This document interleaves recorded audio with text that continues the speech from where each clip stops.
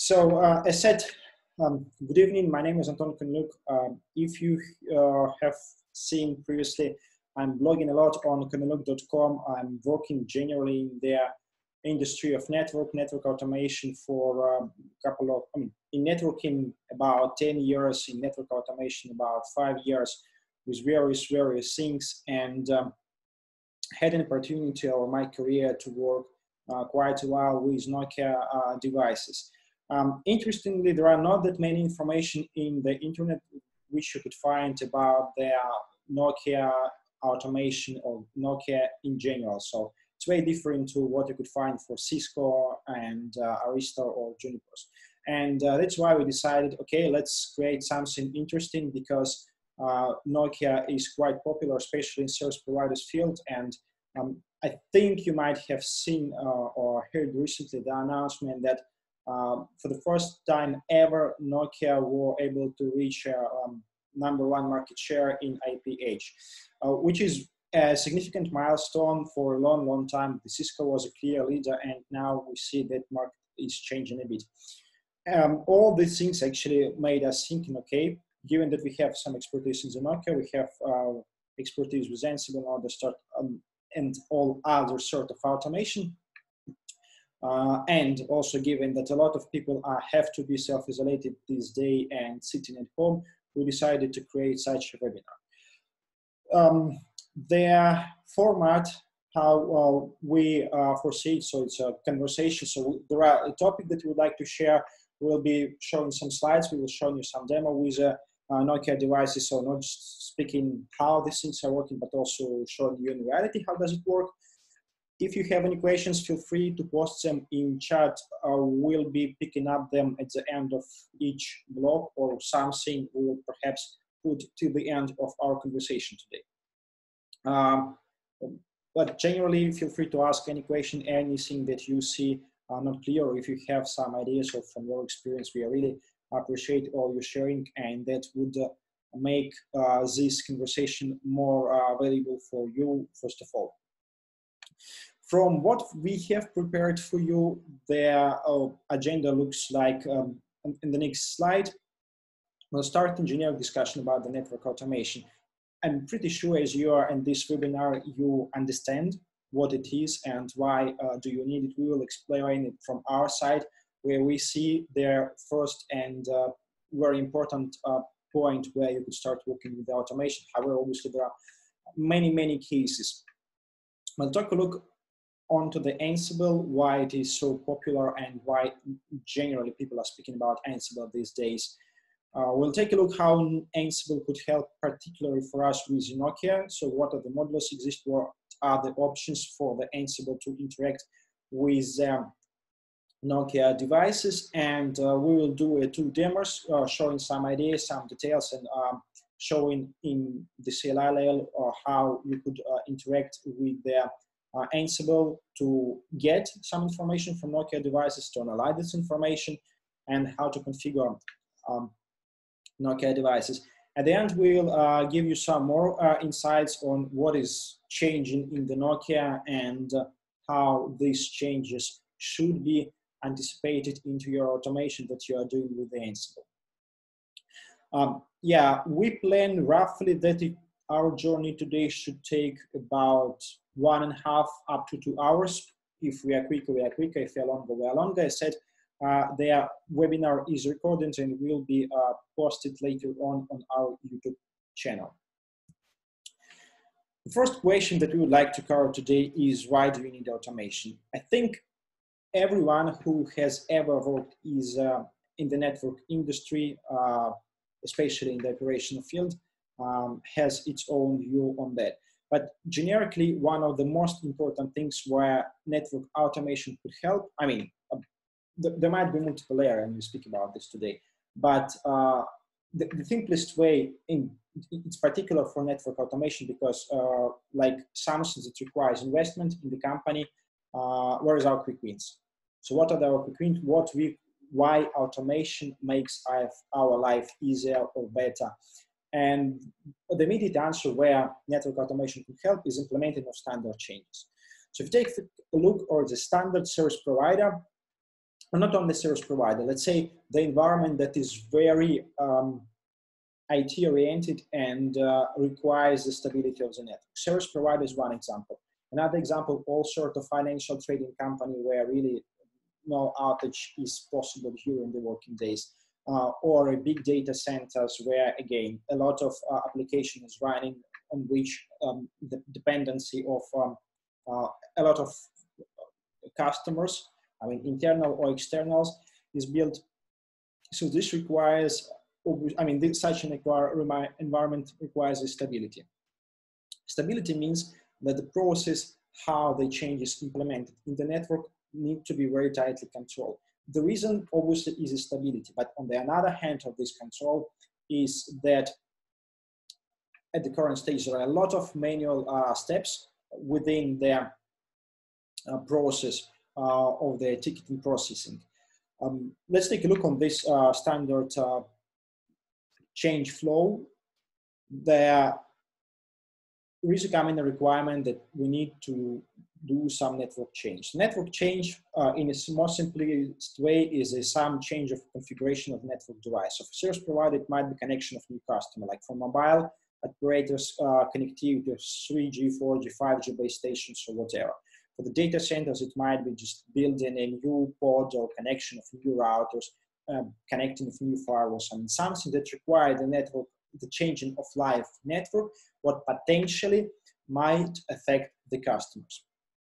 Um, the change request, depending on the company, so the environments where I have worked, I've worked in very like controlled environment, uh, worked in uh, some uh, like um, less controlled environment, doesn't matter how it starts with a change request. So change request typically can uh, contain the information. What should be done? Like we would like to configure in the, we would like in region ABC to connect base station with the name DEF. Then the operation guy starts looking, okay, so uh, we would like to integrate new base station. What we need to do for that? And we start looking in some databases um, what is a router or switch or microwave unit or whatever um, optical link where we would like to connect this base station. So from network equipment to which port this would be ultimately connected. Start looking if there is enough uh, ports, if the ports are free, if we have SFP models, if um, the physics are okay, starts looking further. So what are their IP addresses, what are the VLANs, what are their type of VPN that interconnects this base station from the router somewhere uh, to another site, to backend where you have your controller. So um, if it is uh, layer two, so it's VPLS, so it's EVPN. So what are the associated parameters like uh, LDP tunnels or bindings of the session, or uh, if it is layer three uh, or, or EVPN also route distinguish. I mean, all these sort of parameters, they need to be taken somewhere. Um, in many cases, uh, again, depending on the company, some companies has already NMSs that do things automatically. Mm, but uh, from at least my experience and my experience of my colleagues, what I have seen, a lot of companies in service provider world has grown over the years. And with this growth, they were growing with the ecosystem of all their uh, systems around. And uh, it means that uh, some of the data like IP addresses might be in, in one database. Um, ports and modeling of device could be in another database. Um, some information about what devices are really live and what are on the plane to be built there in the short database. And all this variety of various um, information source taking typically some time uh, for the operation uh, team in order to prepare the, the, necessary configuration. Even assuming that they have sort of template that they could implement, still need to collect this information. Um, once this information is collected, there is a something in the service providers and I mean, in control environment, data centers world as well, uh, something called the change board. So change board meaning that someone needs to approve this change. So this is correct. Um, how does it typically look like that some other species engineers reviewing this. I mean, in ideal world, it should be like this. Um, and then the manager say, okay, fine, I'm, I'm fine to take uh, this uh, uh, change into pipeline of production. Their maintenance is scheduled. at some point in time, and then the change is implemented at some uh, day, and afterwards the change implemented. So uh, the job is done, and the customer is notified that something has happened. Um, in reality, it could take in a lot of time. So generally, it it may take starting from couple of days up to couple of weeks. It depends how they are, um, how much is a load for a certain team. So um, again, providing some highlights in, in a lot of companies, there are a lot of, um, uh, let's say, uh, season job. So uh, in service provider world, very popular stuff like preparation for sort of benchmarking and measurement where uh, the network are getting prepared for a certain benchmark, which are um, somehow normalizing various operators to each other. And this is typically very hot um, period of time, which uh, mean that if the change is not somehow related to the process of the network operation, um, it will be postponed because it's just not prioritized. Um, and uh, this typically leads to the point where sort of uh, power game starting, which change is more important, which change is less important, just because the capacity of the uh, team who is doing the changes in the live network are limited and uh, they need to cope with also some ongoing maintenance, ongoing outages, and uh, the, the time needed to implement the change administration. Another point is also um, the example I have provided is from the company itself. A company owns a mobile network, company owns a backhaul, backbone network, and they extend the network. As example, when the company uh, is leasing, let's say, a PMPLS service from certain service provider, and uh, the process to change some parameters, like um, um, I had once in my life very, um, let's say, interesting example where I was working for one of the big IT company and we was leasing npm PLS source from another big uh, company from source providers and just to modify some QoS parameters so they don't touch even uh, their backbone or capacity of their uh, interconnection was taking really weeks and obviously from the customer perspective from the company was very unhappy that taking so long just to tweak some basic parameter. Um, what it does mean for the company? It means for the company, uh, for the service provider that, uh, or for the companies that are not automating many processes, that they are getting lagging. On the other hand, or this, or on the other, uh, let's say, uh, spectrum, there is sort of hyperscalers like clouds where everything is um, created in a way self-service. So the customer would take their necessary um, compute power or memory or whatsoever. And uh, based on this approach, the customer is getting the resources almost instantly. And the customer typically wants the same from all type of services what they want. And their network is just another like commodity or another part of such a service that should be provided in this way.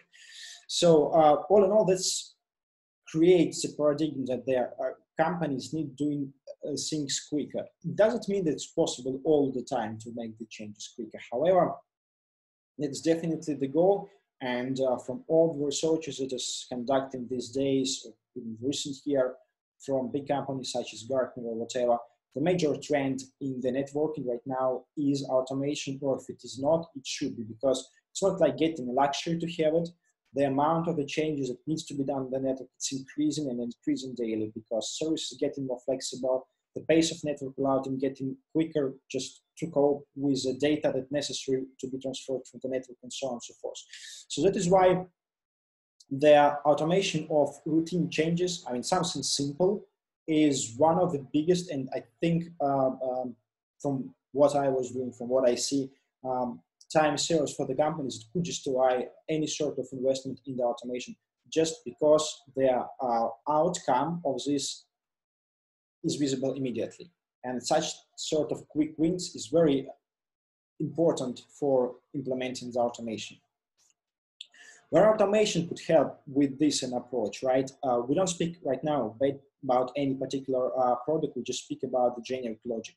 So what the customer expects despite regardless whether it is internal or external customer, that there must be some sort of change request which is coming somewhere from customer, uh, internal, external, from another subsystem that requires some part of the network automate that requires some network service. And the expectation is that the service at certain extent, if it is like fitting some predefined variables, could be created almost instantly. So the automation logic is getting requests. The request is supposed to be get in the uh, sort of API call, which removes the necessity of sending mail or whatsoever to do a change. The change is the change request is coming sort of API call that could be processed by the logic to understand the parameters what are coming as an input and um, it starts working further. So it understands to perform such an operation, let's say provision of the new um, base station in the region ABC. He needs to find, I mean, he, it, um, the uh, network controller, I mean, the automated logic needs to understand uh, based on some data which router should they take. So perhaps doing some geographical analysis or whatever how does it look like? So it needs to grab some data about the position of the router if there is some geolocation or whatever. Understand that uh, this router based on like amount of the ports, uh, based on the location, geographical based on the amount of free ports, is the best one.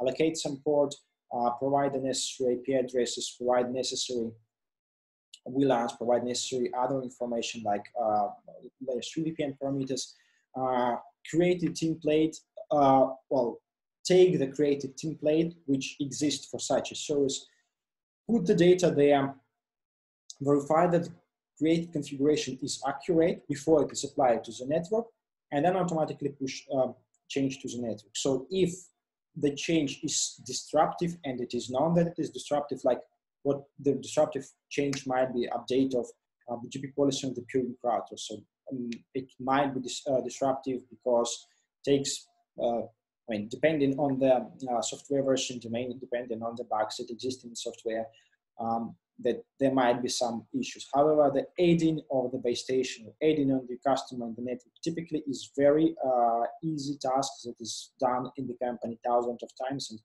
um, in like 99,99 uh, cases, it's not disruptive. So therefore it could be almost instantly um, implemented, which would allow the necessity on the one hand, to have a long scheduled maintenance uh, and all associated process. On the other hand, it would uh, make possibility to deliver service quicker, especially, uh, I mean, we could argue that for base station, in any case, takes some time to build the base station, which could be true. However, if you think a bit further about the uh, providing customer at some extent possibility to manage uh, uh, his or her own services, that is definitely a lot of customers would wish to do. It doesn't mean that, when we implement the automated logic, we remove this change control and we don't track changes. No, and uh, perhaps in the case where we automate the implementation of changes, the uh, tracking on what is done must be even tighter. But it means that if we have a predefined tests that, that we are checking our um, created configuration against and uh, tracking somewhere in the configuration management database the changes done, what the configuration was sent, and perhaps doing some diff analysis that um, makes the process, uh, first of all, very good documented. Second, uh, taking these tests, it, it makes it safe for the network. So, because one of the biggest worry, what I have heard over my career speaking about the network automation, so what if network automation will break something. For sure, it might break if not properly tested in the lab environment, if not properly tested in some sort of pilot environment. But the same uh, possibility exists that the people could break something, especially if there is a new grad or, I mean, graduate engineer or a junior engineer or even senior sometimes doing some varied stuff. So uh, that's why there is no protection that if even experienced uh, engineer is doing the job, it will be done accurately. Yes, the probability is quite high, but still. Same with automation, so where once it is trained and tested properly, it would work nice.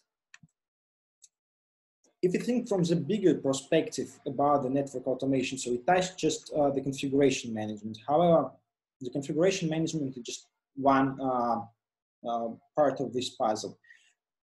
Their whole network operation domain uh, job is fitting to their uh, so-called FCAPS management system. So FCAPS uh, is um, part of ISO telecommunication network management domain, which covering all parts of the network operation. So it contains fault management, configuration management, accounting, performance, and security. So each of these domain um, is come from its name, is focused on a specific task. So fault management is a restoration of the networking of the network once something has happened. Uh, when we think about automation uh, in this area, what does typically the engineer do when uh, he or she sees that some, let's say, link go down or device goes down? Starts analyzing the log. So let's say if the link went down, starts analyzing what were the associated information beforehand. What were the, if we speak about the optical network, what was the optical level on the SFPs, uh, if it was possible to collect information, were there any alarms? Um, if the physical media is stable and see just routing protocol went down again. So what has happened there? Uh, what are the other associated problems? So typically each and every engineer has uh, in its mind the process, uh, the, the, certain sequence of steps that he or she takes in order to solve the problem. And in this case, a network automation could be handy in terms of creating such sort of, uh, let's say, uh, information collection and some basic analysis steps that will help engineer um, in the way that if there is a problem, engineer is running the script. Um, at the first step, he or she runs the script manually, and um, the scripts collect the necessary information, analyze it, and um, put uh, this analysis up to engineer to decide what to do further. Um, the second step once at least there is a working um, mechanism how in a programmable way to collect the information, analyze it, and um, provide the result, how this could be triggered automatically. So something that is called the closed loop automation, where not the engineer triggering the step, uh, triggering the script, but something behind it. This second step, so for first we need to have at least the first step, uh, which allows us to collect the necessary information and analyze it. So same with configuration management. The idea with configuration management that the, uh, the tool, the network controller, is able to configure any sort of network device which is connected to the network, whether it is Nokia, Cisco, Arista, Juniper, doesn't matter. I mean, uh, from the operator perspective, it doesn't um, matter what the device is. From the network operator perspective, it is important that device that is um, connected operates properly. So again, here sort of idea that you need to have a sort of um, toolkit that allows you once the device connected to the network, run a bunch of script or a bunch of uh, programs which uh, populates the device with the configuration, IP addresses, routing, MPLS, BGP, VRFs, VXLAN, whatever is running on the device.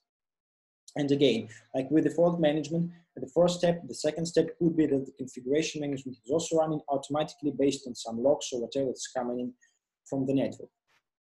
From the accounting maintenance perspective, uh, from the accounting management perspective, the idea is that the uh, network has a lot of information. So, uh, and uh, in traditional understanding, the accounting management is something that allows uh, us to build their uh, customers so based on the radius information or just to track what are the users doing in the network. Here, uh, when we speak about the network automation, the idea that we could extend this um, logic uh, not just by having a simple radius responses that uh, the customer should be dropped or put in the unroutable VLAN, but rather having the certain inputs from another subsystem be able to change the network configuration on demand. Like um, if the customer is uh, um, like using um, some sort of um, the customer wants to change the, the, their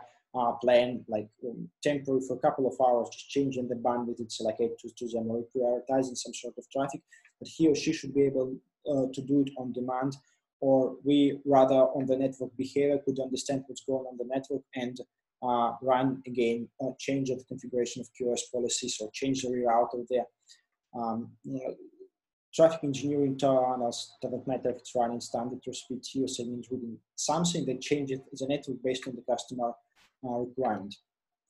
Performance management, again, we're speaking about possibility that uh, in the current networks using a capability of telemetry, it's possible to collect really a lot of information. And perhaps you might have heard very nice uh, proverb, the data is new oil. And it is in reality so. The more information you have and you know how to process it, well, there are several steps. First of all, you could extract information. Second, you uh, have this information, you could deploy logic, so how to process it to create some valuable product. Say, to analyzes the trades in the network and automatically generate uh, their uh, request for uh, upgrade or for purchasing something just because the amount of the traffic in the network is growing and uh, based on the trends that you are building soon you might um, uh, face the problem that there is not enough capacity. From security management um, perspective, uh, that's again about collecting all what is happening in the, net, in the network, uh, understanding there whether there was an attempt, um, attacks, understanding if there is some um, um unexpected behavior that's deviating from the baselines, or if there is some uh, configuration changes not authorized, no uh, to put into the configuration management database, so they need to be removed from the network, and so on and so forth. So the generic idea that within their each domain, there are typically some sort of routine tasks which are waiting to be automated. And if they are automated, you could start getting a lot of uh, free time, hopefully a lot of free time, or at least some um, portion of uh, free time that you could start uh, uh, using for really network development rather than network operation or on further development of the automation. So um, I think it was, perhaps you might have heard is anything uh, from the standard vendor here from the network. The core idea that automation is really uh, getting to be handy, just providing from my own experience as an engineer. So um, a, a, lot of uh, things that we are doing in the network right now just impossible to do without the automation just because the amount how we are building the networks where um, I'm helping companies with are so quick that doing manual configuration, manual provision, even manual validation of information device, just no way you could uh, you could survive. So that's why in other in one or another shape or form, automation is either already in the networks or if it is not yet there, it definitely uh, should be coming there soon. And that is where the Ansible uh, comes into the place uh, onto the stage, and I think one of the uh, best tools, especially if you're not very familiar with automation yet and would like to off, uh, kick off the either something in your network, I mean uh, project oriented, or at least your career and the world where I think one of the most quickly developing these days around the network automation. So the Ansible is um, so the phrase that you see I just uh, copy paste from the Ansible uh, web page. So the Ansible is a tool which um, makes the network automation, general automation on the network, very very simple. At least to start with. Obviously, it, it is not perfect. It, there are some drawbacks We will briefly touch on, but uh, generally the tool is very very um, well uh, de developed it is quite a new one. So the tool was just started in 2012, in 2015, so three years later it was acquired by uh, Red Hat uh, into the Red Hat and Ansible, how it is called right now, due to uh, its popularity across the IT community. So the Ansible, why it is so popular, right? So it has a lot of features. We'll speak about this in a couple of minutes which allows you to deploy a lot of uh, interesting uh, scenarios because it's touching really various part of the whole uh, IT ecosystem. It touches service, it touches application, it touches clouds, touches the network devices, it touches the management of even like files, services within the operation system. So it allows you to create end-to-end pipeline for your services it's available on the all of the current platforms, so on Windows and Mac, uh, on Linux. Obviously, there are some preferences for the people who is using what, but um, again, as um, the Ansible is very uh, uh, capable on the backend, I mean, in terms of touching the network element, the same, it's uh, capable to be run on multiple environments. And uh, it is very user friendly. Um, it, it is written in the YAML, so it is sort of even, um, we don't need to know the programming to start working with the Ansible. We just need to have common sense of understanding what is going on, how you would like to structure your, uh, your activity, the service that you would like to implement, and uh, support it with uh, proper models. So all the information from the Ansible is located, I mean, from the documentation wise, is located on the webpage uh, uh, docs.ansible.com. We'll touch this page a bit later when we're speaking about the Nokia models, so what uh, Ansible is doing with the Nokia itself. Um, so why Nokia is so popular? I will briefly touch it, but it has in reality so many models that it covers, I think, if not all, but vast majority of AT cases. Uh, from the pure number perspective, more than 3,000. I think about 3,200 models. And each of these models are touching uh, various component from something that's touching big to something that is touching small. Ansible is an open source, so that's why everyone who has some sort of programming skills could contribute to Ansible development if he or she feels enough power.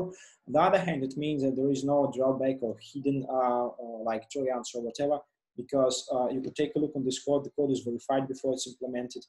I mean, before it's added um, into the major trail, and uh, it makes, uh, uh, from my perspective, the open source is, is, is the best like uh, protection um, against any sort of malware that are hidden somewhere in the proprietary code.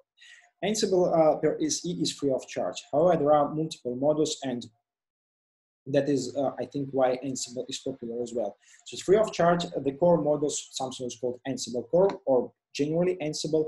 Uh, this is all these models that are used to manage the network element, service, clouds, application, whatsoever. However, um, Ansible belongs to the Red Hat, and uh, Red Hat uh, obviously that it's developing uh, and Red Hat Linux, which is enterprise, which is which has paid support and so on. Same as for the Ansible, the Red Hat could provide the paid support for the company, like development of the models if company requires something, or um, generic support uh, uh, with the certain models if company is not um, willing to take the risk. Um, and additional, there is a, a, something called Ansible Tower. So Ansible Tower is a sort of orchestration for the Ansible, which allows to uh, manage the created Ansible scripts in the way uh, that there are some sort of roles, like who is allowed to launch certain script, who is not, uh, storage of the credentials, integration with LDAP or any other um, centralized controller, which allows uh, to uh, like store their credentials safely. Uh, this tool is Ansible Tower is also uh, paid. There is, uh, on the other hand, free of charge. Um, tool called AWX. So it's uh, like community version of the uh, tower, which has a lot of um, commonalities. However, with the tower, however, it has less functionality just to make Ansible Tower still interesting. Um, what else good about Ansible, especially when you are starting, and actually not only when you're starting, during your journey as well, uh, the Ansible is very popular across the world, and that's why there is a lot of community. And once you start, uh, like um, stopping somewhere, like when to execute the script, you see something's not working on, um, you start looking somewhere on the internet, right? One of the most popular um, web pages uh, or web resources in this direction is uh, Stack Overflow or Stack Exchange, where you could, in the 1995% already find the answer to your question. Not all the time, perhaps you're uh, lucky enough to find something new. Generally, um, from my experience, almost all the problems that I was facing uh, was uh, already somehow covered. I think from my experience over there, uh, five years, just only one or two cases I was opening the GitHub against uh, um, certain modules where I was really start getting some word stuff and was not able to solve using the provided uh, workarounds. And the last but not least, uh, the Ansible is agentless. And the latter is particularly important for the network automation. The agentless means that you don't need to install anything on the end device where uh, which is controlled by the Ansible.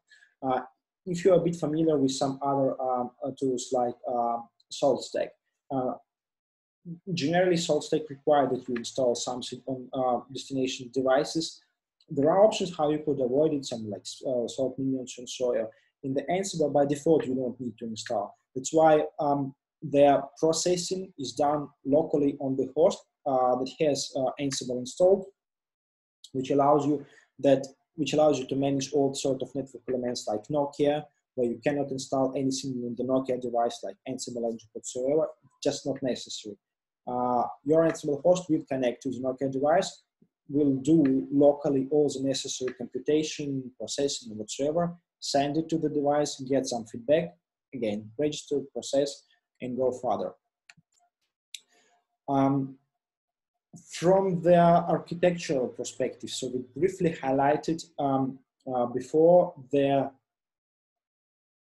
the generic outlook of the uh, Ansible logic. sorry, not the Ansible, generic about the automation logic. And um, the uh, central component automatic logic is something that is uh, getting some different requests or getting some uh, outputs, requesting all other components. So um, from the perspective of the uh, Ansible, it uh, could help us with two major tasks. The first one is the information collection. So Ansible has multiple plugins for multiple vendors, for Nokia as well, uh, like CLI or SNMP or um, uh, NetConf. We'll speak about a bit later about what types of really uh, interface device right now. So all in all, could provide all these interfaces so it would allow to collect the data from the network elements. So when the data is collected, it's stored in the memory. It could be processed on various ways. So you could use uh, built-in Jinja support in the Ansible, which is very powerful templating language. So it's a separate language, but Ansible um, relies on it a lot. So do the necessary processing, change the format of the information, how it was collected to put in a different uh, format, different uh, framework, and uh, send uh, the data somewhere. Ansible also call, can call the Python, um, but Ansible itself is written in Python, so that's why it has a lot of the models to be used as separate Python programs, could be used in the Ansible directly, or it could additionally also run any external script. And uh, it has um, specific models to interact uh, with the other world, like to pushing data towards a REST API uh, based on the information that was collected uh, in the network or pushing the information of the SOAP XML, again, based on information that was collected in the network. Uh, as well as just storing information somewhere locally in sort of uh, uh, text files or tables, uh, whatsoever, which allow, because even in like 21, in, in 2020, the people are still relying in the service providers a lot on the um, all sort of uh, CSV tables. And there is nothing bad about this because it is very easy to say, okay, everybody needs to deploy the application fully API driven, containerized, and, so on and so forth. But on the other hand, uh, and that is, I think, um, one of the advantages of the Ansible, it could work with any input, with any output. So meaning if the customer requires that you send information through REST API somewhere, no problem. It is there is required that information that is collected to the network stored as a table like CSV or whatever somewhere, it's not a problem. And uh, this gives a flexibility uh, which eases the start. So it does not require the work of all the backend of the system that the company has. It's flexible enough to work with almost any sort of uh, backend that exists. Obviously, it would require different uh, level of the efforts needs to be put into the development of the Ansible script, but generally it would work. Um, you see right now the arrows change their direction. But the first thing that we were speaking about, collection of the information that we have. So all sort of uh, CLI outputs, or uh, net, net data in the netconf YANG models or um, um, REST information the devices support the REST. This information was uh, taken up to the databases here. We speak other way around. So we could take, again, different input from table, from SOAP XML, from REST API, processes info into internal variables which Ansible could operate with, take some Jinja, take some Python, take whatever is necessary to uh, create some meaningful output.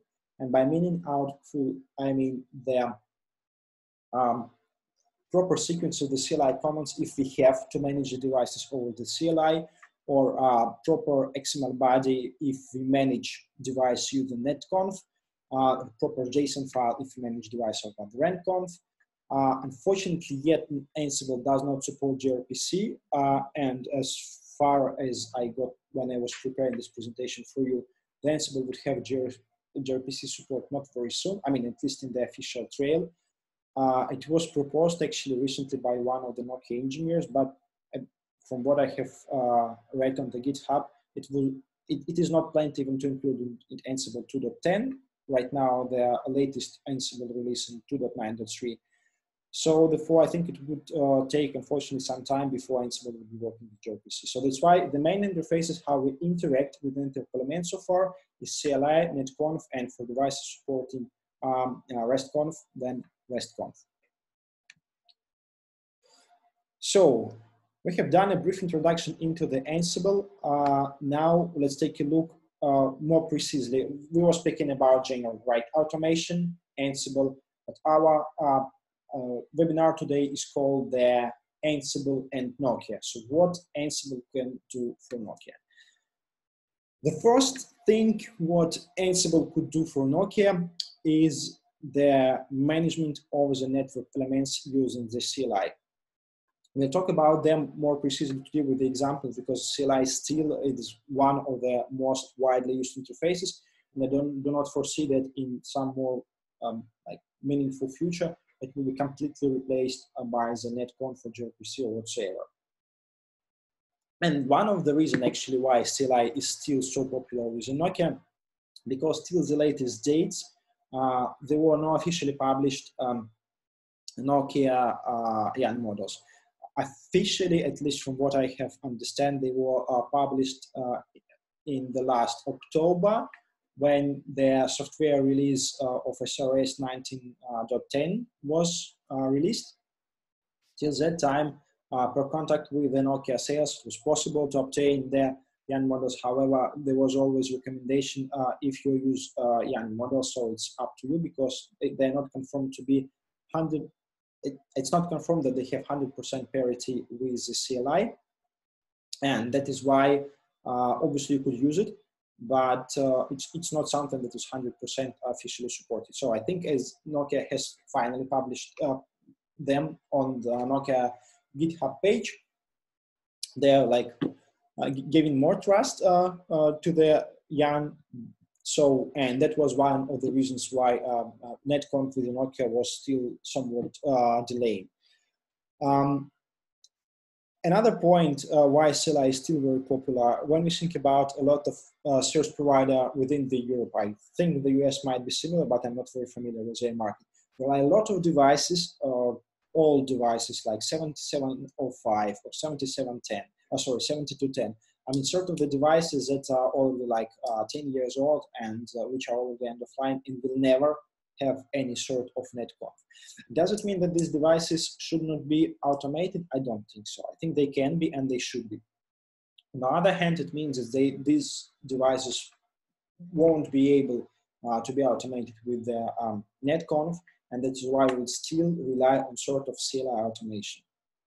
So what exactly Nokia could do, uh, sorry, Ansible could do for us, I mean for the Nokia routers, um, Nokia could uh, be configured using specific Ansible modules, which uh, allows either to collect the data from the network uh, devices using the CLI, and then process this data somehow, or to configure network uh, uh, elements using the CLI so that their devices are uh, getting the information uh, from our own controller. So in this constellation, the Ansible could work with any sort of the local configuration file. It could still work with a SOAP or XML if it's necessary, if the data for the network and planning or documentation is stored somewhere. Um, how it's working, as said, so uh, there are specific models and we will uh, talk for them about more precisely today about them. Some time ago, actually, it's looking on the date, it's not like said some time ago, so wasn't three years ago when the uh, Ansible get the first time it was I think Ansible 2.2 when the Ansible started supporting Nokia. I was writing was written some articles about uh, they using Ansible for the Nokia. So long ago, I was still working in the Nokia myself, uh, but um, um, there was a time when the Ansible start Ansible at the time was supporting only uh, Cisco and Juniper, or mainly Cisco and Juniper, and, and the support of the Nokia was sort of foul in Nokia speaking community and per discussion with some of the Nokia teammates, so uh, we have created uh, this article that explains how to start using even in those time um, Nokia and Ansible together. Another opportunity that um, NetConf provides us is, uh, sorry, Ansible provides us is a NetConf. So uh, NetConf is a protocol that uh, I think these days is one of the most popular when people speak about the programmability. So it's based still on the SSH. Internally, it has an XML framing, and uh, it allows to manage the network element in the persistent way. So, in the one of the drawbacks about the CLI uh, driven configuration management is that you need to have a very strict sequence of the CLI commands in order to have proper output. Whereas in the XML is uh, less um, affected by the uh, uh, by, the, by, by, the sequence of the command that you are sending because just part of the data model. It allows you to make the configuration more pers uh, persistent in terms how to configuration end and also how to configuration modify or remove. And this makes it perfect choice for integration of network elements with any sort of network controller, either Nokia native or third party, uh, but uh, relying on the NetConf interface. So same as with the CLI-based approach, it allows us to manage our devices uh, in a persistent way. So um, NetConf actually exists also for, for, quite a long in the Nokia. So the original Nokia uh, YANG models was called Alcatel-Lucent R13, which highlighted that this was coming yet from the R13's years. Uh, so namely like three, four, five years ago. Then um, the support was going in general with the Nokia uh, NetConf uh, uh. So if I do remember correctly, roughly from uh, 15 or 16, I think from 16, if I do remember correctly, there was a new uh, Nokia YANG models introduced. So it's completely reworked. Um, comparing to the previous one. So one of the main reasons was because in uh, version 16, Nokia has changed the approach to the CLI and has introduced something model-driven, uh, something calling model-driven CLI. We'll touch you about uh, model-driven CLI also about it today because it has um, it has affected a lot how the devices uh, that were previously managed with the Ansible need to be managed with the Ansible right now. And uh, um, this new model-driven CLI has internal different structure compared to the 15 and 14. So, and the original YANG uh, models were following the CLI structure of the 14s, or 13s, 14s, 15s uh, configuration uh, configuration lines, and the, uh, since 16 they are and they are still in the devices. Both of the um, uh, YANG models are supported, so it supported both legacy and the accurate ones. So legacy is called Alcatel-Lucent R13, U is called just Nokia. Nokia has also support uh, since um, since some years the OpenConfig data model. Again, the support of the OpenConfig, it's sort of vendor neutral um, uh, YANG models. Um, unfortunately, there is no, uh, not all the thing that's possible to configure with the native models, possible to configure with um, OpenConfig models, there is a reason for that because OpenConfig was built for specific, for specific reason by specific companies. Um, but I think as Nokia has OpenConfig support, so Nokia is either willing to get into this business or already has gotten the business where OpenConfig is used. And from what uh, we, uh, how we're dealing with the netconf, there are a couple of netconf models uh, which allows us to interact with network elements. So it's both in the way to provide the configuration, in the way to um, take the configuration or operational data from the device and process it and process it further. So you also you see on all uh, on almost each and every slide some links which shown to you either to blog where uh, we was writing about particular topics so that you could, if you are interested in, uh, read for more information or uh, on some GitHub showing how we have used this or that particular um, tool in context of the Nokia. So that's why whatever you would see, uh, we explain here, you might see some uh, more information in our blog. And the last but not least uh, is REST API. So um, the REST API is one of the most popular and I think de facto standards of interaction of the application between each others. Uh, it relies a lot on the uh, HTTP, so basically it's HTTP based. It uh, uses HTTP requests like post, get, put, delete, and so on and so forth. So um, the network elements uh, natively does not support REST API. I mean, from the market at least. Uh, they do support netconf, they do support the uh, CLI, and they do support gRPC, but about gRPC we have already talked.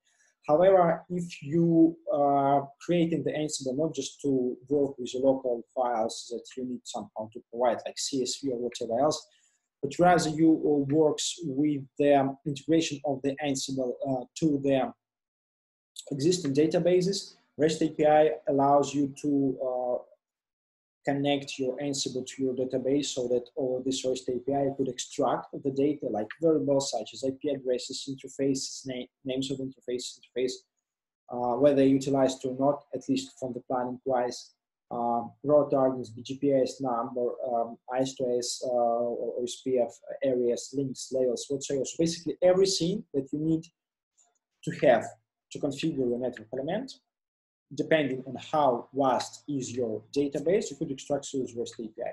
The Ansible has specific model which allows you to get the info uh, from uh, those devices. You could take a look in our blog also all the details about the REST API, how to use it, also including Ansible for various operations like uh, five most popular operation, get, post, put, patch, and delete. So if you're interested in this, uh, take a look there and you will um, yeah, have more inputs. So the brief introduction about the uh, Ansible and Nokia is done, and now we'll start working, uh, looking more into the details. How does it particularly works in the uh, Ansible and Nokia together? If you are familiar with the Ansible, I think this slide would be quite easy for you. If you are not very familiar, I think it will be interesting. So generically, uh, assuming that you have a Linux host where you could uh, install the Ansible, the Ansible is installing uh, using standard packaging system. So if you're having a CentOS, you just would install using uh, sudo yum install Ansible and the latest stable release would be installed. If you're using the Debian based like Ubuntu or Debian, you would need to use uh, uh, sudo apt-get install Ansible However, to install the latest software release, you need to verify on the web page of the Ansible how you install it properly. Because by default, uh, if you use apt-get, it install quite legacy one, 2.4.5 if I do remember correctly. Um, uh, obviously, for any Azure distributive like Fedora or the new CentOS 8 or Red Hat 7, you need to also change um, a bit of the installer film using JFM. So basically, there are the installer or the package manager system that's used in this system. You can also install it using PIP, so Python installer, but we put it outside because we don't uh, focus on the Python this uh, webinar today. So from the Ansible perspective, uh, you need to have a like at least uh, minimum configuration which, which would allow you to start working. The first one is a configuration file uh, on the etc ansible uh, ansible cfg so this file contains all the information how your ansible should work including the path to the hosts uh, which is inventory file including the parameters of the plugin that is used by the ansible such as a uh, ssh plugin um, parameter which is used to uh, establish SSH session to the devices and so on and so forth. So generally, if we speak about the um, like development environment, the default configuration are okay.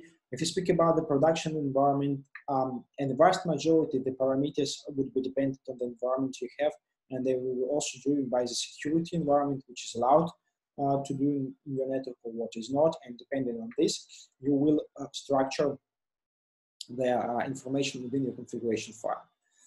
The second uh, important uh, file is inventory. So by default, it is handled in the uh, file etc ansible hosts. And, and the simplest version just uh, would have a category, whatever the category is. And um, within the category, you would have uh, host names. So Ansible operates internally with the host names. However, uh, the device, the host where you do develop, deploy Ansible uh, needs to know how to connect to these various um, elements. And uh, obviously there are multiple ways. Uh, the most simple one, if you do not have, well, the most simple one, if you have already running DNS in your system, uh, and you just then need to provide within the etc Ansible host, the host name, how they are resolved in the DNS. If you don't have DNS up and running, uh, the next simple step would be to modify your etc hosts, so local bindings, to the um, IP addresses of their host names, which are defined in your host files. So basically, Ansible would internally call XOR1, and the host would resolve using the etc hosts uh, XOR1 to a certain IP address and would connect to the device using this IP address.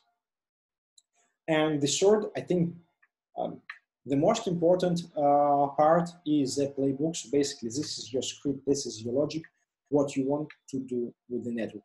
It has a certain structure. We'll take a look in a couple of minutes on it.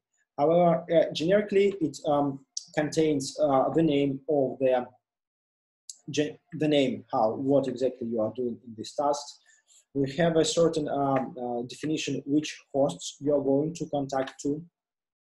You will uh, have um, so the information about uh, which type of plugin you would like to use to connect uh, and finally the task so exactly what you're doing uh, with your network. So from the structure, as I said, so on the top, something's called header statement. So it, it has uh, the first uh, entry calling typically hosts. This is a mandatory entry because it tells what is the group of the devices that you would like uh, to send it to. It might contain here either a particular host name and the host name needs to be assigned within your um, host files, or it must have also name of the group. So like here it was Nokia, it was one of the groups in this file. So that's why it's containing all the devices. How you group, how you create it's entirely up to you. Just um, um, uh, like arbitrary text field, but this arbitrary text field need either uh, matching to the group name in the etc host or to the host name into the etc host. So that script understands against which devices it should be working. Uh, the second big part is the tasks. Uh, the tasks provide the information, uh, the, the action themselves. So what are you going to do? And these tasks are built on a specific model. So each and every specific model has a certain parameters. So like you see in this case, we have a, a model called SROS commands. So as you might understand from the name, SRA stands for uh, Nokia SROS. And everything what we have internally, indented so-called, uh, are the arguments which are taken uh, into this model and an input um, to work. So um, if you take a look on the Ansible web page, so what do we have there? Uh, for the Nokia, we have uh, three models. Actually, uh, I have never used the one called SROS rollback. However, the first two uh, I have used a lot myself in the labs, in the live uh, network, and uh, we will focus on these uh, two models uh, today. So uh, let's take this link. this link is yeah, providing us pass to the information that you have seen on this web page. Open it here. So we would go to this, this web page, as you see, it is uh, docs.ansible.com. functions that I was showing you previously. So it's contained all the information. We need to go within the Ansible project to the tab called Network Models. Inside uh, this uh, network uh, models, you might see that the devices are structured in the host names, uh, sorry, in the name of the vendor. So um, let me take here some network models. Uh,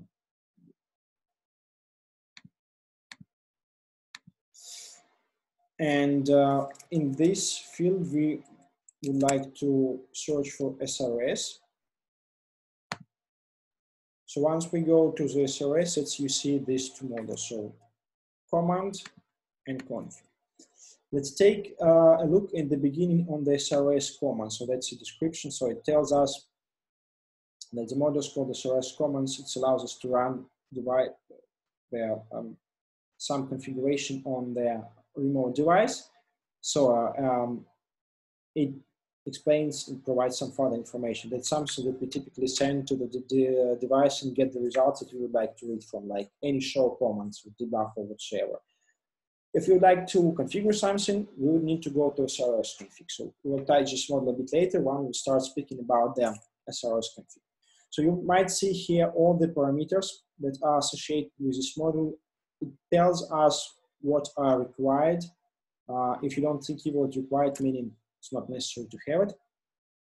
And uh, if there is a certain uh, like uh, uh, default parameters associated, could also be provided here.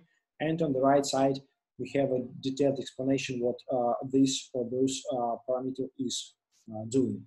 It also has um, typically um, some sort of the uh, examples showing what is working, what is uh, not working properly, like uh, how to run um, some command, how to run another command, and it, it, it, tells exactly what this um, um, task supposed to do. So this information is typically uh, very useful, especially when you start your journey because it gives you, it doesn't provide though you the output, but at least uh, gives you the idea how you could structure um, your task. So once we will be doing demo today, you will see how we are using this stuff. Um, some ideas from um, from the experience that uh, I was using Ansible for uh, what you could do when you do these things. So you could collect any sort of information from the device. So basically anything that you could get as a show, like show router interface, show uh, show router show port, show version, show chassis, show whatever, uh, you could uh, collect um, using this module. Once you collect this information, you're getting to the Ansible, you're getting the, um, just as a text, so text field. Um, Ansible has a specific uh, models which is, allows you to uh, process this uh, text, so just um, strings of the text, and to extract necessary information and this information that you are extracting to put into the certain uh, form. So basically, you you might take the output using multiple commands from the device, uh, then part this text and create the data model of your device. Um, even if we speak about the CLI, not about the netconf, it doesn't mean that we cannot speak about the data model. The data model generically is a data structure, how you structure your keys without your um, uh, device and what are the value we're sitting the case. That's why we could take the data model Nokia native and use the same uh, data model was for uh, CLI and uh, for uh, netconf if you like, or we could use a completely different data model which exists in our uh, documentation tool and whatsoever. So long story short, we could collect information from the data, uh, there from the devices. We could process this data in short that we are creating this data tree of the information that we have collected. And then uh, we could create a sort of uh, diff report which allows you to uh, compare the data that you have collected against um, uh, certain intent. So against a certain baseline. So uh, for example, so once you start building the device, uh, in the live network, you would have it documented somewhere in, in documentation system. In documentation system, you would have the device would have this card. The device would have uh, this uh, MDA installed in this card. So this amount of reports um, and um, once you get the device uh, on the site, you start configuring it, and then you could uh, compare, or even before you start configuration, you might want to compare whether the hardware that's installed in the device uh, matches what is planned or whether it is not. And uh, you could either like visually, uh, I mean with your eyes, um, compare this, or you could use Ansible for this. Um, as briefly told, so this is SROS config model uh, there, so SROS command model, which is a perfect one. So it allows you in one run uh, to collect the information about multiple shell commands, to put this information together, and uh, you could work further with this text. So I'll show you right now the first demo, which uh, actually implement the workflow that we have just shared. So we would collect some information from the network elements we would uh, uh, then um, analyze or compare this information that we have collected against something uh, that we have like an intent. And based on this, we would generate a like diff analysis. So I have prepared a, a simple lab for you. Uh, let me show it. Uh, so there, this is a topology of our lab. So as you might uh, see, we have uh, three routers. So it's a, a virtual routers running in the vSIM uh, mode. So each uh, device is configured as SR1, so it is a single uh, VM virtual machine. Uh, in terms of what is installed internally, it has a IOM1 card with ME6. So it's one of the um, like topologies they typically use for uh, multiple things. So each of uh, these uh, devices uh, have um, two working ports, um, like one port on, um, each of the uh, interfaces. So uh, you might see here how does it look like. So we have two physical interfaces. So in there, uh, like first uh, connection breakout port and the second connection breakout port, uh, based on the fact that uh, we are, as a, a, basis for our lab uh, running direct KVM, um, despite that we are making breakout port, we cannot um, have uh, more, we cannot use any further breakout interface basically. So we only could use all time within out of four breakout only one interface. So it doesn't matter. I mean, for us, it is a lab. Uh, we could uh, deploy anything we would like to. So three devices has uh, exactly uh, same um, uh, physical setup. So let's collect, uh, connect to any of these devices. So I haven't provided that. the devices has a standard configuration. So they have only uh, their uh, management IP addresses that were uh, in, installed on them during their creation of VM. So, uh, so we're inside. What we could do right now, we could take a look what the version. So we are running the um, um, Nokia um, 20 version. I mean, it doesn't matter. We are working with CLI. We could run generally any RV3 version. So starting from 13 and uh, perhaps, I don't know actually if 13 is yet supported by 14, 15, 16, whatever, um, we could have up and running. So if we take a look for uh, uh, chassis, we would see that this exactly this device SR1 and uh, this is standalone. We don't have any host name yet configured. It is a SIM. Um, we could take a look on the card. So uh, we have a card. It's not provisioned. So device just has booted, so it doesn't have anything um, installed on top. Absolutely fresh, fresh and virgin. If we make a something like show port, obviously we wouldn't see anything besides the uh, ports on the um, our uh, device, just because we do not uh, have anything, um, um, any MDAs and any card yet provisioned. So um, the same uh, would be for any other device. So let's connect to another device. So uh, you see also default host name, no host name configured. We take a look, show version, same software version, and uh, um, let's say show chassis, same um, device um, type, so uh, 7750 SR1. Um, yeah, so basically, as you see, uh, same configuration default, nothing is configured at all. Uh, so that is one part. So, uh, and we assume uh, we would like to collect the information aside from the devices and compare it with the intent. So the intent uh, that we have, I could show, I think it here. So the device intent um, tells us, I mean, it has some arbitrary data model. I was just thinking what would be uh, interesting for you to show from, I mean, some real examples. On the other hand, uh, some something interesting and uh, not super time consuming. So the device intent uh, contains, um, if you like, the output, how the device should look like when it is provisioned. So the version should be 22.r1. The device type should be 77r1. There, uh, it, it, should have two cards. So the first uh, card should be IM1 uh, in the profile HE, and um, the second is our CPM, so it should be CPM1. It must be up and active.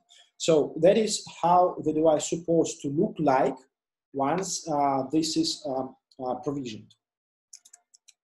Um, uh, we haven't, as you see, provisioned uh, anything yet. So uh, we'll create, uh, we have created as part of the preparation two major files. So the first one is called, sorry, classic collect.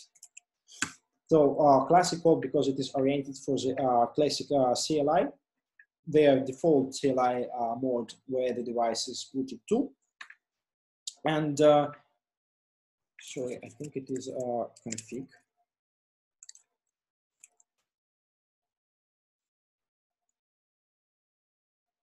So classic check. So um, what does uh, this uh, device, uh, what this playbook does? So it uh, would collect from their host names, uh, from their host group called Nokia. So it contains all these three devices that uh, we have in our lab. So this device, this device, and this device. From these devices, I use the connection plugin network CLI. So it's a plugin that is um, recommended by the Ansible uh, to be used to manage the model network elements. Um, and without connecting any facts, so we don't try to connect the device to collect some data up front, we run the following task. First task is using the SROS command model, we would like to collect three pieces of information. So first piece of information, we would like to collect the show version. So something uh, that uh, you just have seen when it was collecting show version there, collecting the software version of the device. Uh, uh, show chassis is something uh, containing information about what type of devices we are running, so that is 715 SR1. And uh, show card, which contains information about the cards, their slots, and their uh, information whether their card is provisioned or not. So using a keyword register, we would like to save the output of the uh, commands that we are uh, requesting from the device because by default the nothing is saved. And once this data is saved, we are using the specific uh, another model called template, which allows us to work with a Jinja template. So uh, what templates is doing, uh, the templates, uh, this template is taking the original information that we have collected from the device and using template uh, in the past, templates classic check J2 would generate a certain uh, file with um, uh, some data that we have collected from the device. Let's take a look on this uh, template. Uh, classic check. So uh, the template is uh, written in the Jinja language, so it is uh, quite an extensive one. So um, it uh, has all the capability of the standard uh, scripting language. However, it's called not scripting, it is templating language. So it has possibility to, uh, capability for all for or for loops, if conditionals, Um, it has uh, support for built-in support functions, which allows us to process the text uh, basically in the way that we are, are, collecting from the device. And what we are doing here, so we uh, from the show output, you see here is called the variable, and the show output, this is the name how the variables we have called it internally in the Ansible. So in the some of the subkeys of this um, tool, we start basically for line by line analyzing all the information that we have collected from this device, building our data model. So our data model will start with something called device real. You remember in the intent, we have the name device intent. Here we have a device real. And uh, we uh, start looking in the first output, uh, we have a show um, version command. So we are looking for the corresponding line. So the line that should connect, uh, contain the timers key. And uh, we are parsing this line in the proper way so that we could split, uh, subtract from the whole text that we have uh, the proper name of the command. So working with automation is a, is a programming. And programming, in vast majority of the case, it's working with the text. Not all the obviously time, but in a lot. And um, we are looking for a proper value within the uh, output. We subtract this value and we put it in this data model to the key version. The next one, um, we're looking for uh, something containing the name.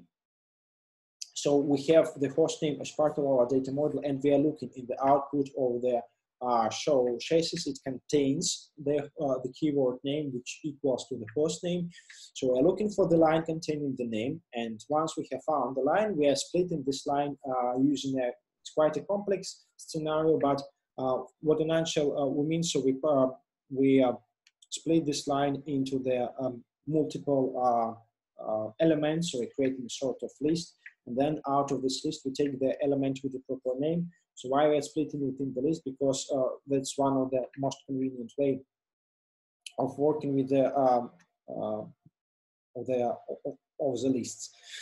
So we are finding the proper uh, element. So and putting it uh, into our data model. The same trick we are doing for the type of the device. So we are looking for the uh, for the proper device entry and we put this information there. Afterwards, the last uh, uh, command, uh, the command we are just controlling by this index tab, we are uh, creating the key associated with the install the devices card. So we are looking for the device card in the output. We are looking then for a text that uh, we have in the show card output and uh, parse it in the way that we could create the data model similar to something that we have in our intent. So we do need it for the, the cards that are not provisioned and for the cards that are up. Obviously, uh, I was just tailoring this example for our use case today, but you might have here much more additional uh, conditionals, uh, uh nested condition matching exactly uh, your scenario or other way around, making your scenario as flexible as possible so that you could uh, cover all type of use cases that are uh, running in front of you. And I think that is one of the most important things that you need to know about automation. There is no automation for everything. Automation, uh, on, on the one hand, uh, you have an automation, on the other, you have flexibility. And automation doesn't mean that you could solve all the problems. Some automation means that you could quickly solve uh, vast majority of the problems that uh, you have clearly defined. Um, that is why, and I don't think it makes sense to create automation for, for like each and every uh, smallest case because you might end up creating the, a lot of unnecessary efforts, a lot of unnecessary code for something that's quite an easy uh, solvable manually. I mean, um, even if it's not solvable um, manually easy, it's solvable manually, and the times that you spend to solve it manually will be much, much uh, less comparing that you need to create a complex automation around. Mean, anyway, that's a standard automation dilemma, so that's why we have tailored this code for our particular example, but it, it's good enough that you could uh, build something out of that if you like it. So that is all in all, what our uh, first uh, template is doing. So basically it's uh, generate out of uh, collected information uh, it generates um, for us the data model that is following this So it should uh, follow the uh, device intent, version, system type, card, and we also have a check of the host name. We don't have host name in this device just because it's device intent. However, we host we have our host name in our Ansible host. How we are running the Ansible hosts. so which where we have mapping um, between our IP addresses and between our host names. So we have covered so far uh, this point. So we have created in a nutshell, uh, or we are creating the YAML file. YAML file, uh, Ansible is built and everything is written in the YAML. So it just file in the, uh, which if it is imported as variables, is effectively the data model uh, with the variables that we could work. Um, and um, after we have generated this file, we are uh, creating the, so we are importing this uh, file as variables within our Ansible. We also import their uh, intent, so something that we would like to uh, run the diff analysis against. So we have these two variables, and uh, the last task in our playbook, make sure that we compare one um, to one created data model with another one that is sort of intent, so how it is supposed to do, and uh, generates uh, the diff report, uh, which says whether their information in our device intent and host names altogether are matching to the something that we have taken from our network devices. Let's take a look for this second template. So diff analysis. So it's uh, it's a bit huge, but uh, it is uh, written in the same uh, Jinja language. So it's why once you understand how to deal with Jinja, you, you could use it almost anywhere in the Ansible. You and what we are doing here, we are comparing, so if device intent version, so basically everything that we have in device intent, we comparing to the device real. So device real is how it is called from what we collect from the live network, and device intent, something that we do uh, have uh, in uh, our intent. If the value are matching, our check is okay, so result pass, okay, whatever. If not, then not. And if it is not, we provide the information uh, about the keys that we are matching, just to highlight for the someone who would be uh, looking through uh, their reports. I mean, obviously, as we're generating these reports, we any sort of reports are generated for, for humans because if you would like to do something automatically, we could just could take this uh, on this comparison sort of action, like uh, update the software on the remote uh, device by sending there like certain commands, copy the file from a certain link, download, update the software. So that's why the reports are for humans, and as the reports are for humans, we would immediately provide the additional information. So in this case, we provide this uh, version of the real device and uh, uh, sorry, uh, the yes, the real device and the how it should be providing the key in the keys as is or to be. Again, it's something that was just my imagination how I would uh, structure it uh, for myself when I need to use it and how actually I'm structuring it for myself when I'm writing sort of uh, such a code for network verification. then we have here further check, checking the host names, uh, checking the device types, uh, checking the slots. So basically everything that we have in our uh, device models, we compare once against another one. And uh, that is what we are running for each and every uh, device we have in our topology. So we are running collection information for each device. We are running the creation of data model from each and every device. We are running the uh, uh, diff analysis for each and every device. So um, that's our the first uh, playbook. Let's uh, run it. So we run playbook using Ansible playbook, and then we provide the uh, classical uh, the name of the playbook. For for the first time, we are running the classical check. So it starts collecting the information from the devices. You see directly in the output what's going on. So so I think I need to uh, remove the created the results. So let me remove them. And I rerun. So now we uh, don't have anything in the results. Now we're rerunning our playbook. So it's running fresh. It's collecting the data from the network element. It creates the file with these data models. It imports the files from data models, imports the intent, and it makes the diff analysis. So now if you take a look for the result uh, folder, so that's a folder where we uh, store both our data and our reports. Let's start with um, taking a look on our uh, collected data. Uh, so let's say um, VSR 11 uh, data. So you see that we have collected from the uh, real network device so the text was properly parsed. We are getting the software version. Uh, we are getting their host name. How does it in reality called on the device? We're getting the type of the device. From the uh, card's perspective, we say that we have IMHE. It, it is not provisioned. We have the CPM that is up and running. So if we do our manual analysis, so let's take a look at our um, uh, CLI.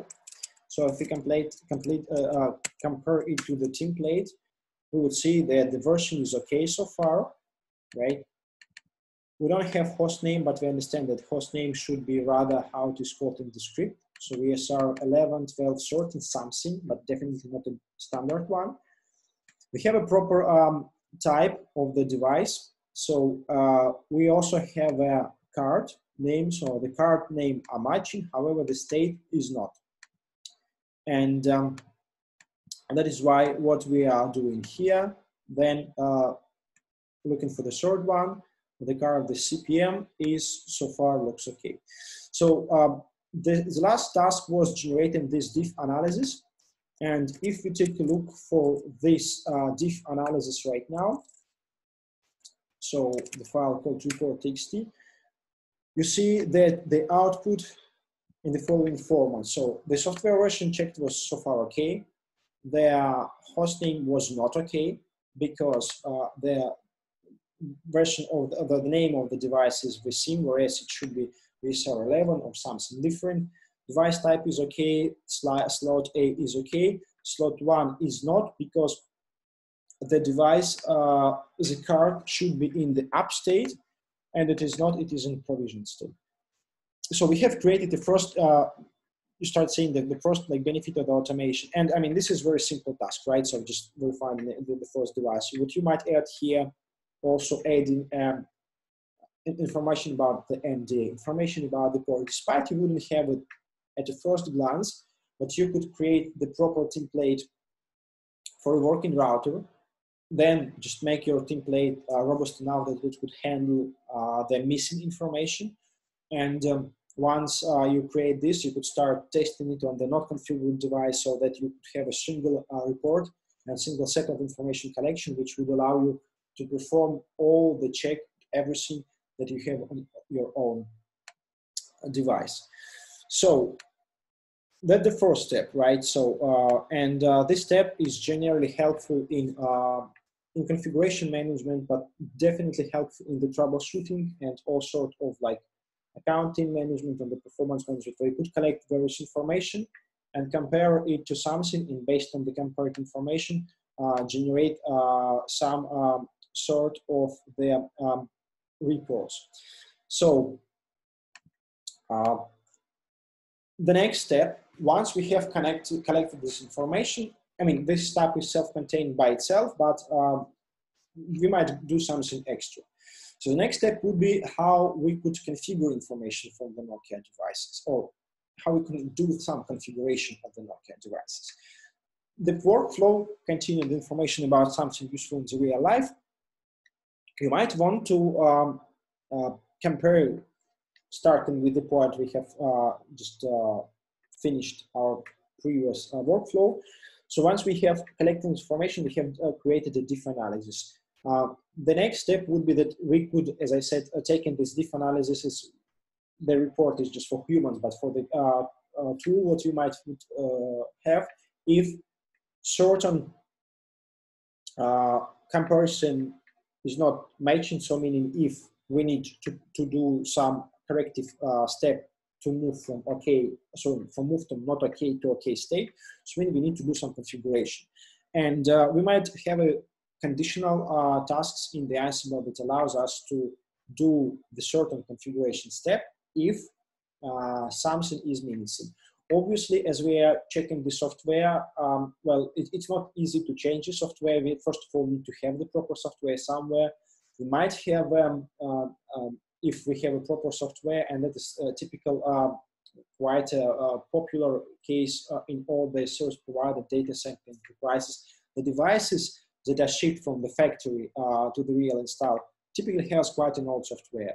I mean, quite, um, it, you know, is, very ambiguous word. In vast majority of cases, it has not this type of software that you have in your network, unless you have a specific agreement with the vendors that it will be shipped with the proper software. So that is why you might have the proper software somewhere within your network, and then like on the TFTP server or, or FTP server, and then you would be able um, uh, to download it uh, using the script, so sending the proper comment, uh, like in our diff analysis. If software version is different to what is required, then we might have a specific task within our playbook that we say, we would need to update the software on the device, so copy something uh, from um, uh, from your FTP server or TFTP HTTP server, image to CF3, how the image will be called, then change configuration within the device, then reboot you might have this part of your uh, of your playbook. Uh, but uh, obviously we cannot change the device type. So if we have a device type uh, 77SR1 and we speak not about the uh, virtual simulator but rather real life, um, most likely you would have a you, you would have to deal with the device. Thing you will be understanding that for whatever reason, not the proper device will be shipped. Uh, all in all, uh, the, the, last point that we have in our data, data uh, model is uh, configuration of the interfaces. And again, there are two things. Either the first, we just verify that the proper uh, module is installed, I mean, proper card, proper MDA installed per our intake data model, um, or we uh, need to change the configuration. So if device is not provisioned, like the card is not provisioned, we need to provision that. Based on this uh, analysis, we could do these things. Okay, if we see that the card is not provisioned, we need to provision it. So we need to send the proper set of the command to the device and it will be uh, provisioned then. And after we have defined what exactly actions we need to do, we just structure our playbook and send this information to the uh, devices in form of um, commands that we would like uh, to send. Um, the module that is used for this is the second one that uh, we was uh, looking into their uh, Ansible web page. It's called SROS config. So this module is um, uh, intended to create a configuration uh, in two uh, formats, in formats of lines on the format of the fully created sequence that is taken out of external file and send this configuration to the network element. So uh, we'll take a look at the basic example once we would have the lines, but uh, let me jump back for a moment back to our uh, web page. So if you take a look on the SROS config documentation, again, is with the SROS command, it provides all the details, what are the keys, what are the uh, default values for keys, uh, what uh, keys are mandatory, what are not. And in the example, you might see that uh, there are like uh, different ways. So we could either structure everything just a single uh, command or, uh, but then we could send only one command or we would like to send uh, multiple commands in such a way or we could uh, structure it in a proper way going into the configuration context. So configure and going through the um, elements. And uh, another way we could uh, provide the file, the source file that should configure, uh, contain all the configuration lines that we would like to send uh, to the network element. And all these configuration uh, lines will be sent, configuration start getting used. So we'll take a look right now on the sale on the lines. Approach, just uh, the most simple one, but still uh, showing you some exposure. So we go to our um, CLI and uh, to configure the devices, uh, we have a playbook called uh, classic config. So let's go inside. So uh, what we do here, we import their data from our file that we have collected in the previous task. So we're collecting the data from the uh, collection and after processing uh, into the data model. And then once this is done, we're going to the first configuration task. So the first configuration task is to put the host name. Even if we change the host name of the device that they are properly up and running, it's not a problem. However, what we might add here uh, we might add uh, here additional um, check uh, by importing another our intent file and uh, adding here when if the configuration is not matching. So um, if the key is not matching, then uh, I mean the key of the inventory host name and, um, uh, what we have in our data model, then we will do this configuration. So in, in, in such a form, the first type would be um, conditional. So we could add it here right now. So uh, the specific uh, or the default uh, keyword that contains the host name, which is taken out of inventory is called inventory host name like right it's, uh, it's collected or it is stored in the inventory file. Um, and uh, it's host name of our device. So we would say we would like to create this configuration when inventory host name um, we use a standard uh, comparison stuff so when we make this task conditional does not equal something that we have in uh, device real. I think it's called device real host name right so it is for device real system hostname.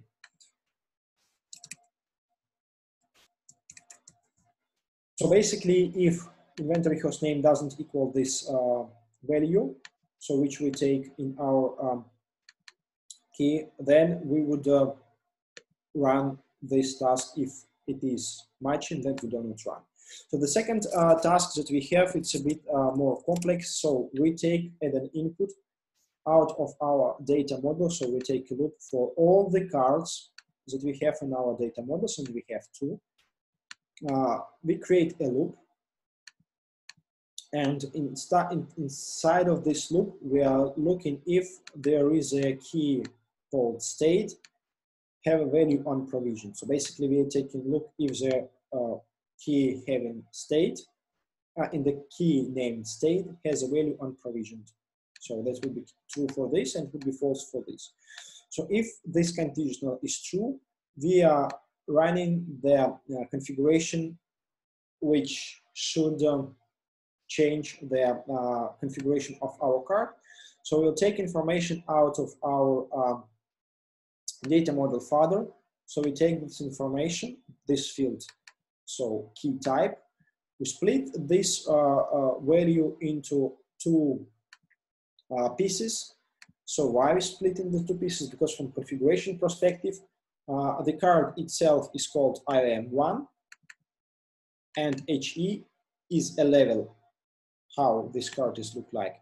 And that is why we need to split this uh, word in two and uh, send the uh, command saying that the card, what is the type of the card, IOM1, and the level of this card is HE. So this is the way how we are creating the how we split this uh, file into two, so this uh, key into pieces and sending this to the configuration line. Uh, and basically that's it, right? So we need to config, uh, um, fix two things, uh, and that is what we are doing. I mean, obviously, we might father has um, um, here father check. So because if we don't have the second part, we don't need to run label which might be a case for certain cards. But At the first entry, you see that already within this uh, approach, you could create quite a flexible uh, configuration of all your network elements. And uh, once uh, we would run this script, so Ansible playbook classic uh, config. So it starts uh, importing the data, it's analyzing the data against the host name. So it, it's running the uh, provisioning of their first host name. You see that the status is changed, meaning the configuration was applied. Uh, for the uh, CLI, you see that we have two iterations. The first one was skipped because the state was up slash active and our task is running when it is unprovisioned, so when basically we need to provision the device. So uh, we could now go to the CLI and to check whether the configuration was applied. However, that's again the beauty of the automation. What we could do right now, we could rerun our check command, uh, our check script that we have created. And um,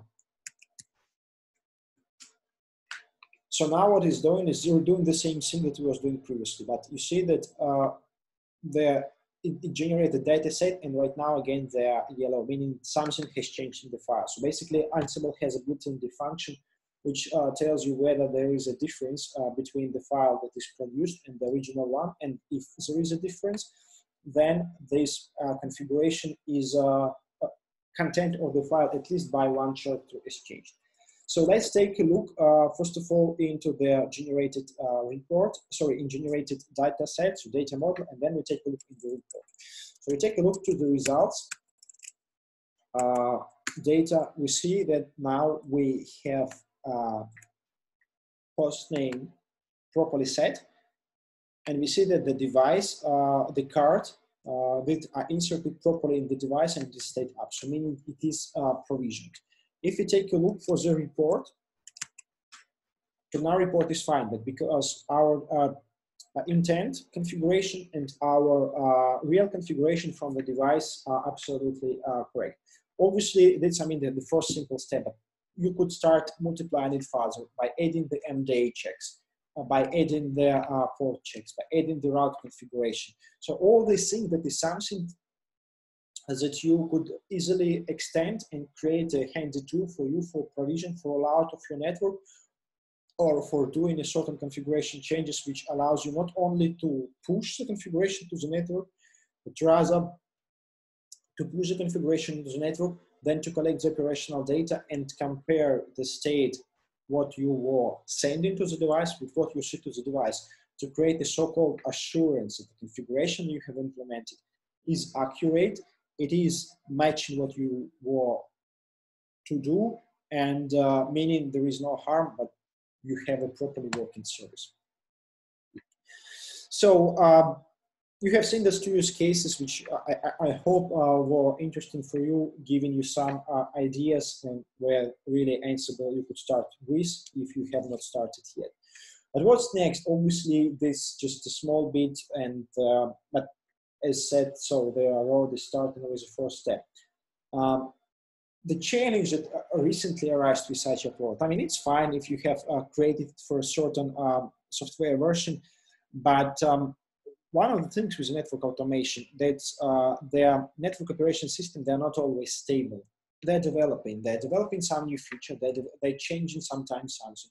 One of the big changes, I think, um, if you are working with the Nokia daily, you might have seen back in 2017, uh, the Nokia has uh, changed their CLI to a model-driven CLI. So model-driven CLI was introduced in software release 16 uh, R1, 16.1 R1, which is was released in the May 2017.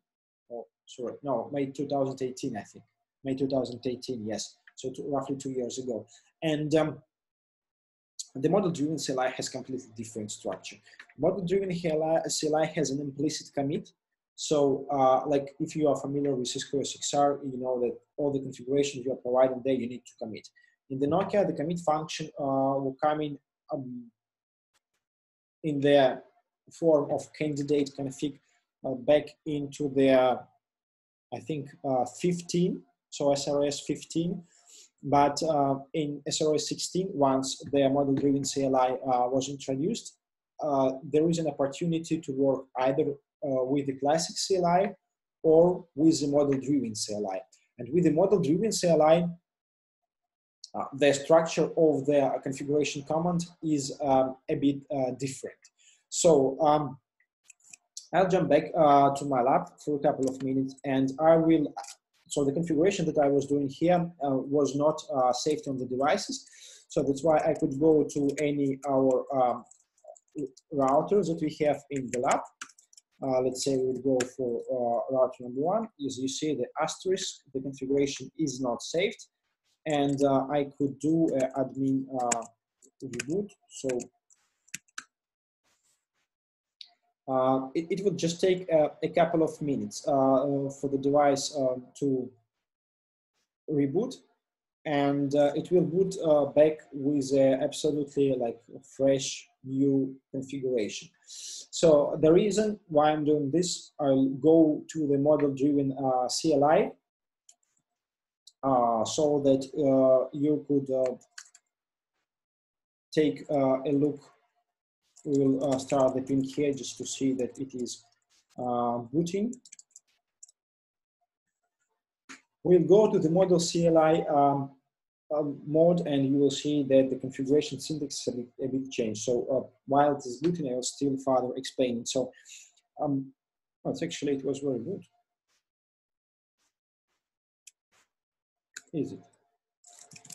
Yeah, so um, another interesting thing, so as configuration was default and uh, the key was not set as a persistent. So uh, that is why um, I need to, uh, to clean my SSH keys. So going back to the device, you see it's back called uh, vsim. So show chassis show the same device. So the show card, it is unconfigured. So we will change on this device uh, the mode how it is operating. So we'll go to the model driven CLI. So configuration system management interface, uh, configuration mode model driven. So uh, we log out. If you log in back, so we are getting to the uh, model driven CLI mode. So you see that our uh, config what tell us that we are in the model-driven CLI, at least you see this uh, square box, right, where typically pass is provided. So, and if you do right now config, we are not getting anywhere because the configuration mode has changed. And um, if you would like to run right now our provisioning script, so uh, let's say we would uh, rerun, uh, let's start with a collection. Uh, So it starts taking a look inside, but you see it has quickly collected the information from um, another devices, but uh, it cannot uh, collect anything uh, from our uh, device running in this. So just cannot uh, collect the information, it will be timeout. So uh, let's do just a, a brief hack in our results like what we was uh, collecting for vSAR 11 data, we will put that our host name is uh, vsim. So to run the configuration of the host name, so we'll put uh, vsim here, and we would like to run the uh, classical uh, config, so the playbook that we're using for the configuration of the device. So it has imported the value. You see that it is starting doing the uh, configuration and it's supposed to configure the host name. Uh, let me uh, check this file back. So I'll put as this is uh, on provisioned. So again, run the provisioning, and you will see that it will change in the host name uh, one time. So I need to think explicitly take a look how to scope in the template. Just a second, uh, templates, uh, diff analysis. So we are matching to put not okay, the state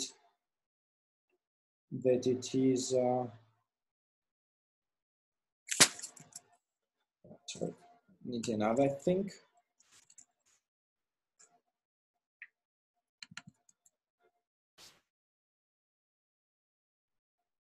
I'll just go to the device, I think. I'll take it there.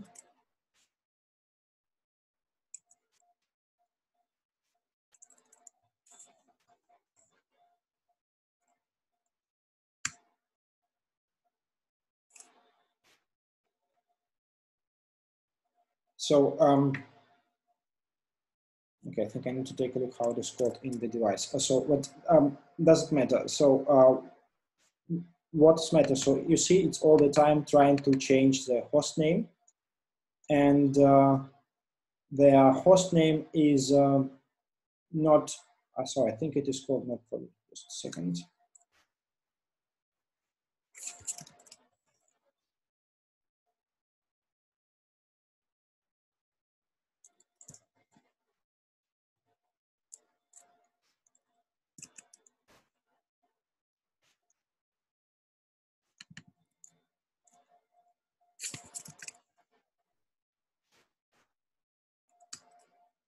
Oh, okay, I see the issue. Okay, I have put it into the uh, wrong place. So here we have IOM1HE. So was typed from my side. So now we try to rerun the provision. Um, so hostname must be changed. It tries to change the configuration. So like, but all the time it's changing the hostname, which is strange. It's not changing the user hostname for other devices. So if we go right now uh, to the device, uh, to this device, so uh, where we have changed the configuration mode to model driven, you see that the key is not, the host name is not changed. And uh, the card, despite it tells us that configuration has changed, it is not changed. So the reason because in order to get the configuration mode, the, the command is changed. So we need to have something like configuration global to get the configuration. And after we do any sort of changes, we need to make a commit. So if we don't make a commit and if we don't uh, have a configuration global, we are not able to change the configuration. And that's exactly the solution for this thing. So you might have seen um, um, um, I, was one of the first one to read uh, to write the blog about model driven CLI about the Nokia, so about these things. So the solution for you, if you're using running to manage the Nokia, would be to change the key or to change the statement configure to configure global to allow you to get into the configuration model. And um, the second, that after you did the configuration you would like to have, you would need to add a commit keyword. So if we take a look uh, back in our example, so we take a look on their file called md config, so it's model-driven config. So what it's doing, it's adding everywhere the global keyword and commit, both for the host name and for um, interface. Uh, sorry, on, on the card layer.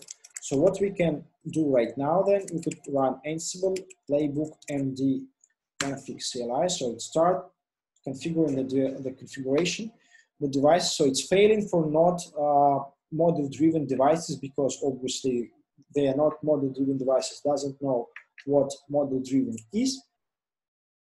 And uh, uh, it uh, has a sort of uh, information uh, and that second device which are model-driven, it is configured. So if we take a look for the device right now, so we see that uh, host name is changed. So it is VSR, and if you make a show card, so we see that the card is provisioned, and we start working on something like show um, MDA and so on and so forth. So that's the first thing that you need to, to be aware of when you're working with, uh, or where, when you are making the transition from the classical CLI to MD CLI and you have any sort of automation driven by the Ansible and other in the world. So the second um, uh, challenge would uh, arise with uh, developing the automation if you look a bit further uh, for the netconf area. So the netconf is based around the XML. So, and uh, being based around the XML, it has internally the XML body which needs to be properly structured. So you need to find a way how you could, using perhaps again the Jinja templates, create this XML body, fill it with the information, send it uh, to the device. So uh, the first thing is creating this XML. You need to understand how. Um, second, uh, you need to understand what are all the keys that you need to have, how to create the proper uh, Jinja check. So if you don't have a certain key, you don't put a, a, part of the XML in place or other way around. If you have a certain key, you would like to put the interface around.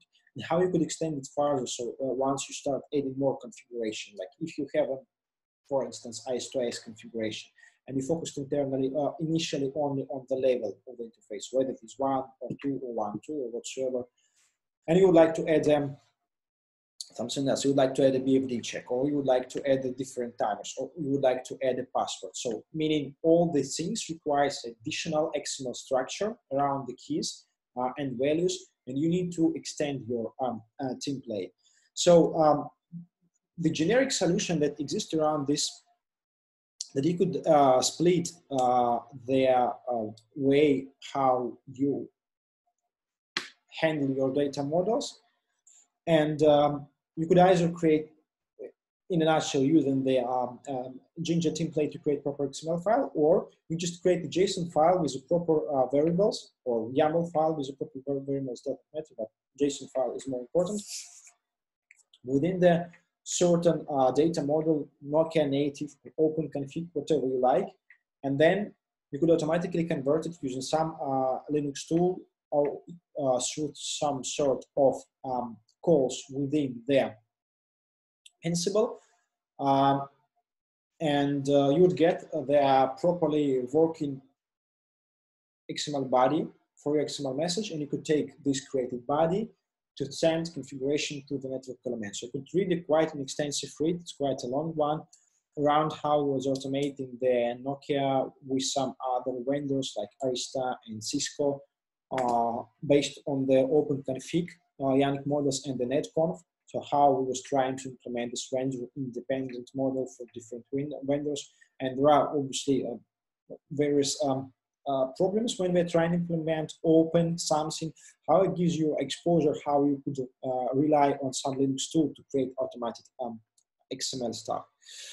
So uh, all these things, uh, and it's just I mean part of the story. So there are much, much more things that you would need to solve once you start really looking on the automation end to end. So there might be a need uh, for uh, creating uh, really complex configuration templates, which, which requires a lot of level of them uh, nesting of if for else and so on and so forth, which uh, require very detailed analysis. Might also be the way, like you see for MD-CLI, we have one playbook. For classical CLI, we have another playbook, how we could create the code that generically um, could be uh, running uh, to configure both the MD-CLI device and non-MD-CLI devices uh, in a single run, just again, depending on the parameter, what either could be extracted from the device or pre-configured if you have some sort of attribute in your data model that this device is MD-CLI relevant or this device is not because as you have seen, you could add a conditional to each and every particular task and having the uh, conditional assigned to each and every um, particular task, you might be able to uh, run uh, the task for one subset of devices based on condition or to another subset to another. Or as we said previously with REST API where you need to collect some information and then you need to process some data and put it into CLIs or netconf or RESTconf. So how you could into a single run, into single playbook integrate working with uh, REST API, working with uh, um, XML, XOF or any other things to collect this information too. Might be much more further um, use cases you might uh, want uh, to have. And um, obviously it's not possible to cover any, everything in a single this webinar. Uh, before we invite you to our network automation training that we are starting the next week on Saturday. So we have uh, two groups where we cover all the things that we was covering today in much more details and much more. So we're speaking not only about Nokia, we speak also about Arista and Cisco and uh, Cumulus Linux. So there's four vendors, two data center field, two service provider field, which explains you how you could uh, automate the things in vendor independent world and we're working with Ansible We're also working with Bash, working with Python, we work with a lot of things with vendor native or vendor independent, like open config models. So something that you have seen right now, but in much bigger scale, with much bigger level on details, with much bigger amount of the demos. So if you're interested, we still have some places. We have two groups, Saturday morning, uh, 9 a.m. GMT, and uh, Wednesdays evening, 19 GMT. So literally this time, like we start on day, today, but on Wednesdays. Um, thank you very much for your attention. I really appreciate you take your time in your evening to come and to hear from us. Um, any questions if you have from your side, we're happy to answer. Uh, or um, you could also join our Slack um, where we doing all this stuff. So the first question, um, uh, is it possible to treat Nokia devices as Linux applications? Uh, example, Nginx. Can I create a who candidate config file, deliver to router and apply the changes? Uh, uh, yes, so the, uh, the answer is yes. You cannot treat it though as a Linux device. So as we previously, uh, I think briefly shown, there is a possibility in the SROS config file uh, called uh, SRC. So SRC means that you specify the whole file somewhere in your local host. you could create it also using Ansible or manually, it's up to you.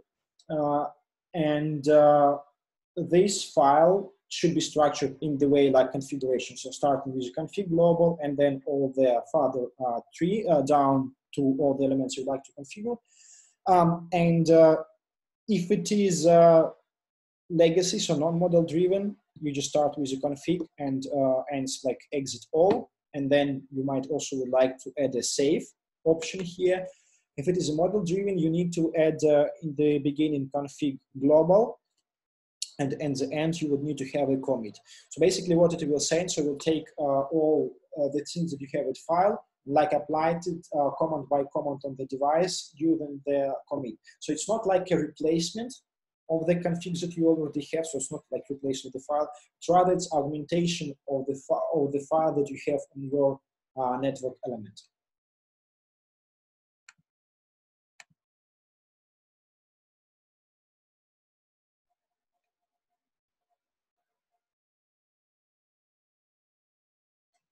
Um, thank you very much. Uh, if you have further questions, you could uh, follow us uh, in the, you could uh, send it or share with us on the, our uh, webpage. You could um, join our Slack if you like, and uh, we'll be happy to see you in our um, training that we are starting soon. I hope you stay safe during this COVID time, you and your families. yeah, try not to get into bad occasions and hope to see you in our uh, Uh, new events. Thank you very much, guys. Take care. Goodbye.